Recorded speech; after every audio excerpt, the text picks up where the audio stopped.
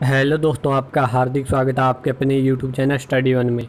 तो खबर आई, महिला एवं बाल विकास विभाग द्वारा चार हज़ार प्ले स्कूल खोले जाएँगे। अगर आप इसके बारे में पूरी अपडेट पाना चाहते हैं तो इस वीडियो को अंत तक देखें। रोज़ाना गवर्नमेंट जॉब के अपडेट के लिए इस यूट्यूब चैनल को सब्सक्राइब करें। वीडियो अच्छे लगे तो लाइक करें और ज़्यादा ज़्यादा शेयर करें। तो देखते हैं क्या खबर आई है। महिला एवं बाल विकास विभाग द्वारा चार हज़ार प्ले स्कूल पाँच सौ खोले जाएँगे।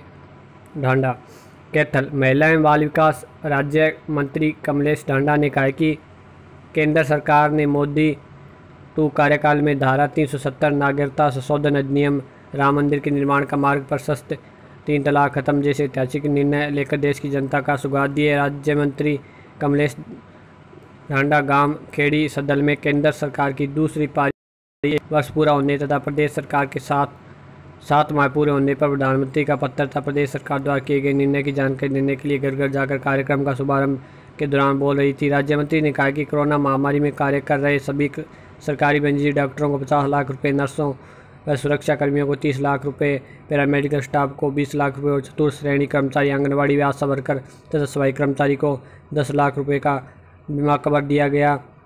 राज्य मंत्री ने कहा कि महिला एवं बाल विकास विभाग द्वारा चार हज़ार प्ले स्कूल और पाँच सौ कर्ज खोले जाएँगे। तो दोस्तों राज्य मंत्री ने कहा कि महिला एवं बाल विकास विभाग द्वारा चार हज़ार प्ले स्कूल और पाँच सौ कर्ज खोले जाएँगे।